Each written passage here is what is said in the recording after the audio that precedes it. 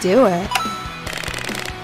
Hey guys, this is Versatile from Project Phoenix Media. So I wanted to do a new video today, not a tutorial per se, but just a little bit of my personal experience using the SATA adapter finally for the official Sony PS2 network adapter. So my story is real quick was I always wanted to do the mod, if you, if you call it a mod, I suppose, but I didn't want to purchase a Chinese or foreign uh, adapter that has no network connectivity, It has a SATA interface, but then you have like some game issues, is what I've heard and read online. So I decided, since I have the official Sony adapter, let's swap it out from the IDE interface to the SATA interface and uh, have a lot of good time. So it was pretty simple to do. It took me about 10, 15 minutes. I don't have any footage of me doing that. To be honest, there's a lot of tutorials and footage of that online, but you do get um, instruction booklet. It does come with some hardware, so basically some screws, some spacers. I won't go through all the instructions too much, but the bottom line is you basically take off the old shield, take out all the, the old hardware,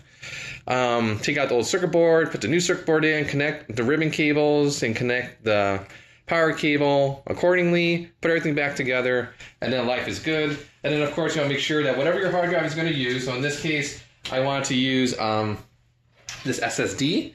So um, I also printed, totally optional, this 3D bracket. You don't have to. Some people went old school, use nothing, use some cardboard, use some paper, just to give the hard drive a little bit of support. Because what happens is when you have this, let's say for example, this kind of form factor installed to your network adapter, that it's going to be sort of, you know, levitating in the air a little bit. There's no support underneath it. So that's what the 3D bracket does for me.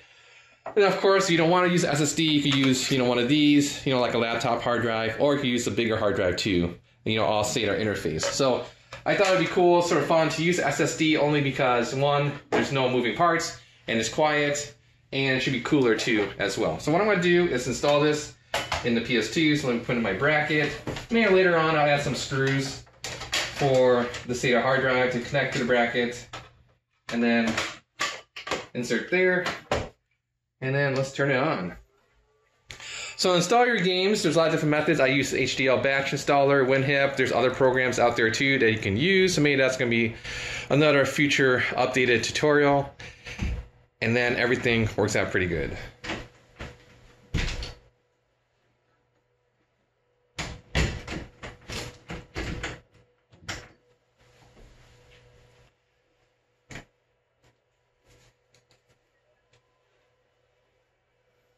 Okay, so what we're going to do is just real quick go into OPL. I do have some games installed. Just want to showcase uh, it's just working fine. I think the hard drive solution is a great solution. You have an all-in-one to store all your PS2 games. If you wish, you can use PS1 games using POPStarter. You can store your game ROMs. So like for your old school emulators like Nintendo, Super Nintendo, Sega, you can install those homebrew emulators, the ELF files, and go that way. Um, it's much quicker experience in terms of loading your game, so I don't expect any lag or music issues or video issues, those kind of things. So if you have a fat PS2, you want to breathe a little bit of new life into it, I think the internal hard drive method is definitely the way to go. That way you can preserve your laser. Um, it's faster than um, using the memory card solution like MX4SIO or over USB for sure.